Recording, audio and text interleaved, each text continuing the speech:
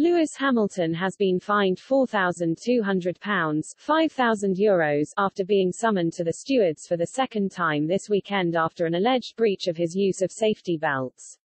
Hamilton waved to the crowds on his cool-down lap after winning the Brazilian Grand Prix and stopped off to the Brazilian flag from a steward. After a superb performance to beat his main title rival Max Verstappen, the clasp of Hamilton's seatbelt appeared visible from onboard footage as the car was still moving, so he could receive the flag as he made his way to parc fermé. But the stewards said, the driver of car 44, Lewis Hamilton, undid his seatbelts on the in-lap at the end of the race. While the stewards are sympathetic to the desire to celebrate, it is fundamentally unsafe to undo the seat belts while the car is in motion. Slow speeds in these cars are very fast for an unrestrained occupant. Further, Formula One drivers set the example for junior categories. It is critical that junior category drivers learn the importance of using all the safety devices of the car at all times. The suspension of the penalty is subject to compliance with Appendix L, ch. 3 of the ISC during the period specified.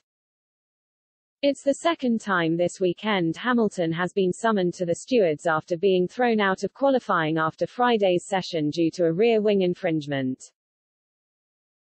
A post-session technical check into the Mercedes rear wing showed the DRS was found to be opening the wing more than the permitted distance, with Hamilton stripped of his fastest time in Brazil and was forced to start the sprint race from the back of the grid. The stewards have been busy across the weekend after video footage appeared on Friday of Red Bull's Verstappen touching the back of Hamilton's Mercedes when it was under strict parc fermé conditions. Verstappen was then hit with a hefty £42,500 €50,000 Euros fine ahead of the sprint race for breaching parc fermé rules, yet the Dutchman was able to see the funny side of it. He said, it's quite a big fine, so I hope they have a nice dinner and a lot of wine. I hope good expensive wine, that would be nice. They can invite me for dinner as well. I'll pay for that dinner too. Hamilton pulled off a superb win at Interlagos after another fierce battle with Verstappen during the latter few laps of the race.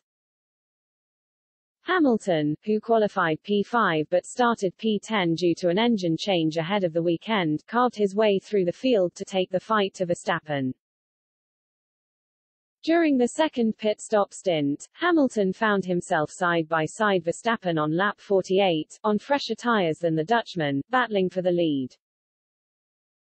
The pair went wheel to wheel into turn four, with the seven-time world champion on the outside of the track as Verstappen looked to keep control of the race.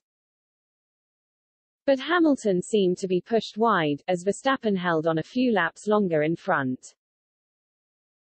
The incident was deemed a racing incident by the stewards and was not worthy of an investigation. Hamilton, who was left frustrated by the decision, continued his pursuit on Verstappen before eventually taking the lead on lap 54.